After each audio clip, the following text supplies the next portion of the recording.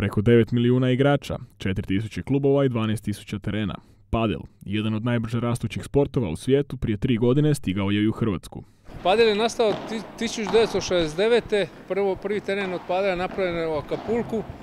E, poslije toga 70. i 80. godina proširio se u Argentinu e, i poslije Argentine stigao je u Španjolsku 90. godina i e, poslije Španjolske počeo se širiti po Europi i može se reći da je danas padel jedan od najbrže rastućih sportova na svijetu.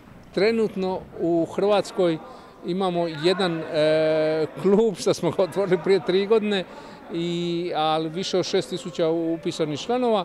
E, može nam za primjer služiti e, Italija, konkretno grad Rim. U Rimu je 2014. godine bilo je osam terena od padela, samo je jedan bio klub e, indoor zatvoreni sa tri terena, a danas u Rimu ima više od 600 terena i ima više od 80 indoor klubova. Padel je sport koji se za 5 minuta kad dođete na padel naučite sva pravila, ista su kao u tenisu, e, naučite servis, što je vrlo jednostavan, e, društven, zabavan.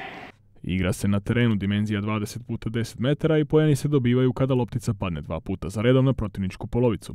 Ili gube ako umjesto protivničke podloge lopticom pogodite prvo u protivnički zid pa tek onda u podlogu. Pravila su najsličnija tenisu, loptica smije odskočiti jednom. Poanta tog padela fora je s tim zidom gdje ga ljudi povezuju uz squash tenis, miksaju. Sa zidom je super jer lakše, lakše se kažem brani, smije se koristiti od svog zida. Uh, jedan put pada, volej normalni, servis je najveća razlika, nema, ne, znači nije gornji servis kao u tenisu, nego je, nego je donji servis. Pravila loptica smije odskočiti do, do kuka i u principu to je to. Uh, organiziramo da turnire i lige, bile su prva i druga padel liga, najčešće organiziramo svakih 2-3 mjeseca turnire i radimo za tipa napravili smo neki master 20, 20-30 najboljih dečkiju pa se podijelimo međusobno. I ostali turnir 32 para najčešće, glavni i utješni. Imamo nagrade na kraju, to uvijek svi pitaju, imamo nagrade. I također klopa cuga, zezancija, gušt u principu. Padel se od tenisa razlikuje i po reketu, koji nema žice, već je ispunjen pjenom. Pun padel mi je zanimljiviji dosta tenisa, zato jer je ono aktivnija igra, e, nije pojedinačna igra, nego je timski sport. E, pa ono, moraš stalno s prijateljima igrat, druženje je uvijek neko ono, više, više, ko da se više oznojim na ovom sportu. Padel sam počeo igrati poslije nogometne karijere, počeo sam e, klasika, počeo sam igrati tenis, golf, skijanje i padel. Poslije svega ostao sam samo na padelu.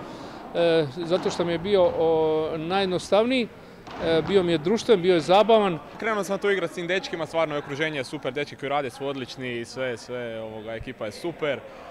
Ima nas tu jedno 20-30 koji se stalno mijenjamo, igramo i evo, širimo se, hvala Bogu, padel ide sve bolje i bolje. Evo ga, tereni, tereni su, su odlični, sve uvjeti su odlični. Kogoda da nije bio, ja, ja nagovaram ljude da probaju, nije, lakši od tenisa i puno je, za, za, sport je jako zahvalan. Evo, vidite ekipa, to je sve domaća atmosfera. I to ti je to.